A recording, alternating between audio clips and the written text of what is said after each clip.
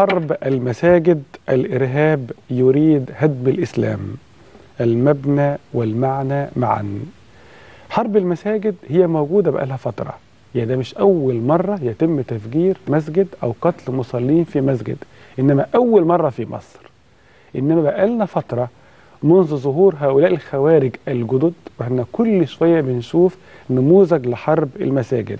وشفنا تنظيم داعش إن مسجد الموصل اللي بقاله 1200 سنة إن مسجد الموصل تم تدمير مسجد الموصل قبل ما يمشوا. عفوا بقاله 800 سنة من القرن ال 12 هذا المسجد التاريخي اللي هو أثر تاريخي من القرن ال 12 بقاله أكتر من 800 سنة. تنظيم داعش هو ماشي فجر المسجد بالكامل جاب المسجد بالكامل على الأرض. ليه؟ لأنه ده اللي خطف فيه أبو بكر البغدادي ما ينفعش إن هم يحتلوه.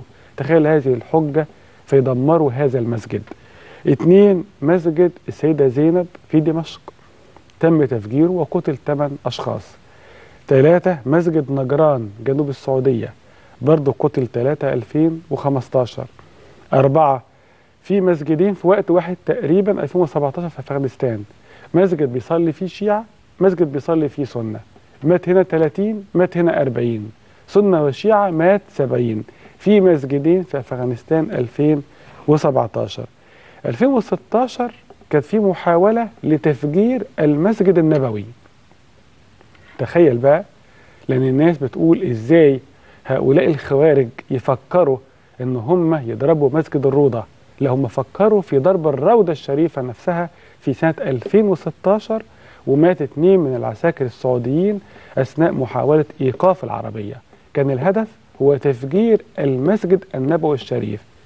طبعا إيه الحجة اللي عندهم؟ بيقول لك لأنه المسجد فيه ضريح. فبيعتبر أن قبر الرسول صلى الله عليه وسلم هو ضريح داخل المسجد وبالتالي يجب تدمير قبر الرسول لأنه ضريح داخل المسجد. دي محاولة 2016 أنت بتتكلم مع ناس الكلام معاهم تقريبا خلص الكلام. مفيش نقاش مفيش حوار.